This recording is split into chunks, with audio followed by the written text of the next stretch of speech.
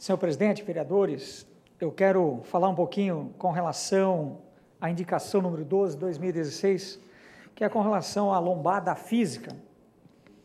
Aonde se localiza essa lombada e por que foi pedido?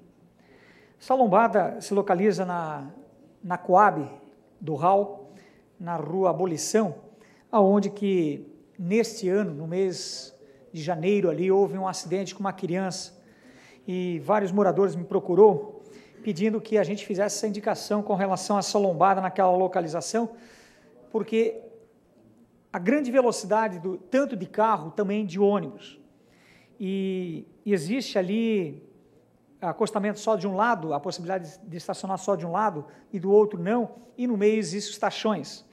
E aonde que realmente, muitas vezes, quando tem carro estacionado no lado, se invade outra pista, e isso aconteceu, esse acidente com a criança.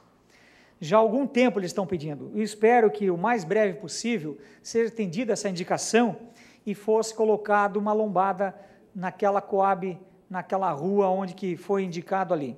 Então foi um pedido dos moradores. Esperamos que o nosso é, diretor de trânsito, Kumlin, sensibilize e realmente coloque uma lombada naquela localidade. Muito obrigado.